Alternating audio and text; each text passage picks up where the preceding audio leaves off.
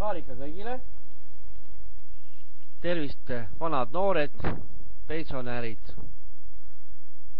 invaliidid, kes tahaksid teenida raha ja tulla Haarika Traveli projekti, mis õpetab investeerima ja raha enda kasuks tööle panema. tunneme kõiki inimesi, kes on skeptilised ja ei usu investeerimisse, vaid sellesse, et raha on võimalik saada vaid raske orjatööga, see pole nii, sest raha on ka võimalik saada kergema vaevaga, kui vaid ainult soovid. on meid ju kõiki läbi aastate hellaks tehtud eh, libaprojektidega ja valetatud ja vassitud. Ja põhiline jutt, et liituge ja saate palju raha, kuid edaspidi teiega ei tegele keegi ja raha ei anta ammugi. kutsume teid liituma Haarika Travel projektiga, mis on nagu investeerimise projekt.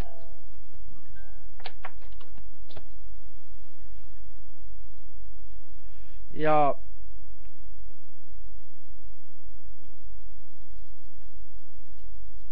väikese tasu eest on liitumine programmi ja pakkumine, pakkumise tegemine on parimatele lähed-, lähedastele ning nende liitmine. tulla võivad äh, üliõpilased, koduperenaised, invaliidid, kes tahaksid äh, oma igapäevase elurütmi juurde natukene raha juurde saada ja ka midagi endale lubada. meie ülesandeks on oma meeskonna kokkuhoidmine ja kogemuste jagamine ning üsna ruttu võid saavutada selle, et su arvet kaunistab kordi suurem summa, kui sul tavaliselt kas palk või on sul pension ja need on tänapäeval nii väikesed, et ma arvan, et seda, mis ma nüüd räägin, tasub kuulata. projekti eestvedaja on meil Panamas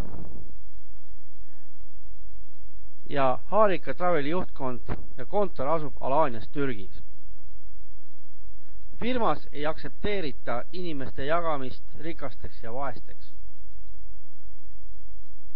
igaüks võib elada paremini, kui ta, ta tahab ja teeb tööd selle nimel. Haarika Traveli klubi on kättesaadav eranditult kõigile. sõprus, ausus on need meie peamised väärtused, mida meie ootame ja loodame ka teiste poolt. Kui sa hindad elu ja üksteist aidata ja jagada oma kogemusi, olla lahke, siis õnnestub sul äri selles projektis. astudes projekti ühekordse summaga nelikümmend euri pluss eh, euri firmale pluss saatekulu tasu, hakkad sa teenima regulaarselt maatritsitest väljudes sada kuuskümmend euri oma arvele esimesed sada kakskümmend euri lähevad sinisesse maatritsisse aktiveerimiseks ja nelikümmend euri reinvesti uuele ringile. kui keegi ei täida kvalifikatsiooni, milleks on tuua kaks inimest ärisse, siis on tema logini kõrval lumehelbeke, mis näitab, et ta ei ole üheski maatritsis ja rohelises ega sinises ja raha tagasi ei saa seni, kuni on ta kutsunud ärisse kaks inimest, siis on tema ärikoht nähtav maatritsis. Harika Traveli projektis on võimalik teenida kolm summat.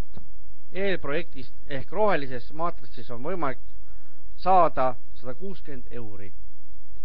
ja sealt läheb nelikümmend euri reinvesti ja teisest kohast sada kakskümmend euri kulub juba teile.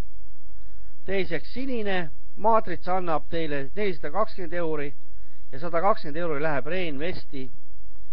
esimene kolmsada euri läheb kuldsesse, ülejäänud kolmesajased kantakse teile kontole. kuldemaatrits annab viissada euri oma, viissada euri oma kontole ja kolmsada euri läheb puhkuse rahakotti Alaaniasse ja kolmsada euri läheb uuele ringile Reinvesti. niisiis, kogu selle äri kontseptsioon ongi selline. loodame teid äh, uusi liikmeid näha ja loodame, et olete tulemas sellesse ärikontseptsiooni Harika Travel, mis ei ole sugugi halb, halb pakkumine. näeme järgmises videos. Teiega oli teie spiiker Armin Hansel. giờ tối hay không?